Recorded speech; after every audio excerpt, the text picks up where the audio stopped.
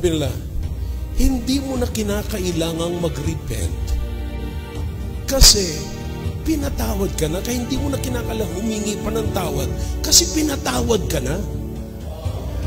Kapatid, napansin niyo po kanina, in-emphasize ko, ang preaching ng repentance is before the death, burial, and resurrection, and after the death, burial, and resurrection.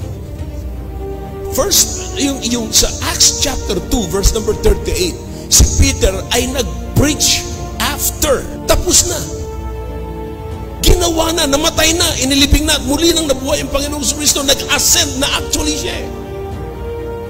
Pumunta na siya sa trono ng kanyang ama. Pero kapatid, bakit si Pedro nagpi-preach pa ng repentance? Kung totoo ang sinasabi nila na hindi na dapat tayo mag-preach ng repentance kasi nangyari na yun sa Panginoon, abay bakit si Pedro nagpi-preach after?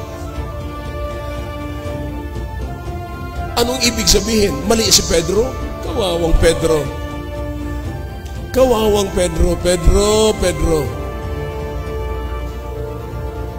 Ay hindi naiintindihan mga kapatid. See that? So look at the issue. They do not understand. Imagine,